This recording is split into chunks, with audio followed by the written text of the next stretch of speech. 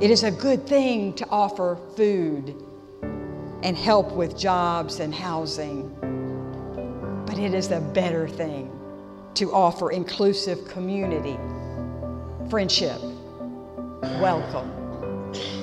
It is a better thing to offer a place to worship, a place to create, a place to belong.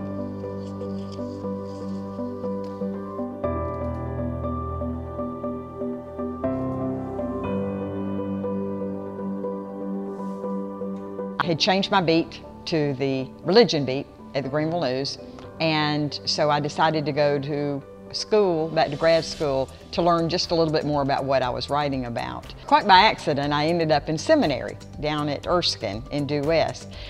And once I got there, it was just, oh my gosh, this is what I've always been looking for. So I ended up getting a Master of Divinity degree and just felt being called into ministry.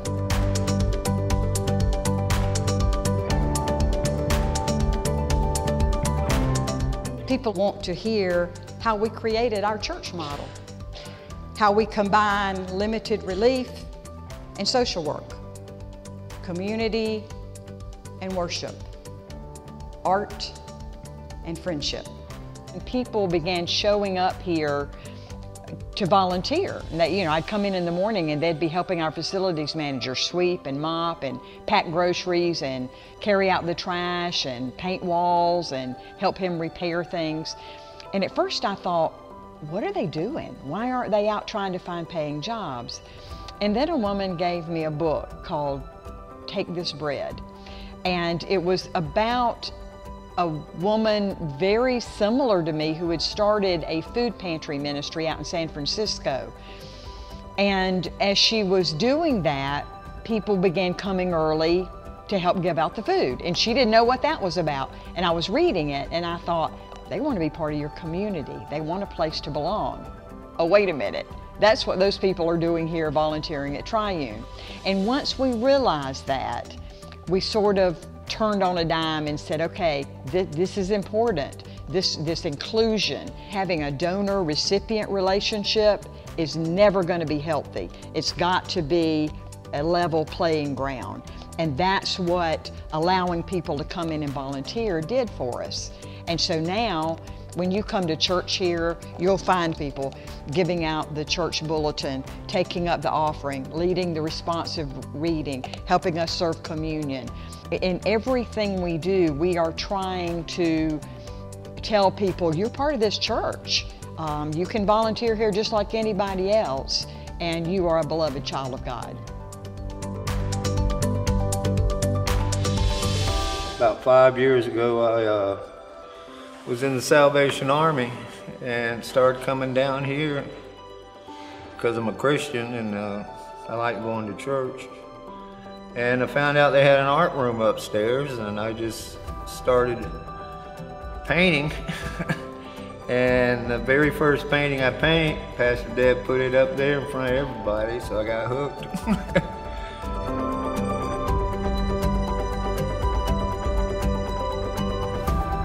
the more I look at it, it's. It's me. I've been through a lot. Uh, a lot of bad choices, a lot of bad decisions. This is his helmet. This is his wings. That's the earth. That's the fires of hell.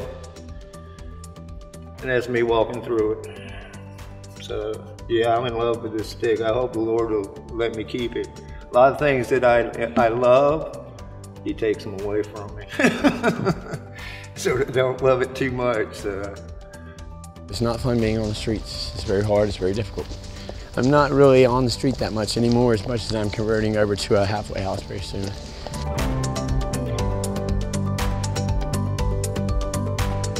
About age 24, I was injecting heroin and have battled with that addiction for almost 24 years. Right now, I'm currently clean. I'm in treatment at a, a local methadone treatment center in Greenville. A lot of people here on the street have alcohol and substance abuse issues, and you know they're trying to get their lives straightened out. Some of them, and it's very difficult, especially during the wintertime. Last time I was here, we had sleeping bags and tarps hanging from the trees covering us in this area right behind this bush and right here. So we got some mattresses here. A lot of people stay sometimes down up under these rocks under them and stuff. Some clothing items still here. I remember being here in November and it was nighttime and it was raining. I was trying to get a vein in my leg and it was just, I kept thinking to myself, I just can't keep going like this. Places like Triune, they help people so much getting back on their feet. There's not anything I found in Greenville that could help somebody more. Pastor Deb, like I said, has been instrumental along with Don Austin and the NA groups that's in there and in my recovery and helping me stay clean and want to get clean and stay clean. We just want to be a place of welcome. Um, as I've always said, I, I've wanted the people who sleep under bridges to sit and worship next to the engineers who designed the bridges. Um, I think that's how we're going to solve homelessness is when everybody gets to know everybody else and sees this as a problem and an issue because it's affecting my friend. It's affecting the person at the end of this pew. I want to live. I want to live as much as I can. I remember what it was like before I ever had a substance abuse issue that was severe and I was so-called just a functioning addict. I had a job, I had a house, I was married for five years. You know, I want those things back. I want to have a life again.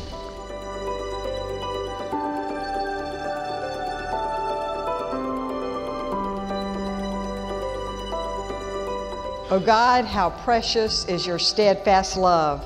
All people may take refuge in the shadow of your wings. Psalm 36. Welcome this morning to Triune Mercy Center. We are so glad each and every one of you is with us in this place on this Lord's Day.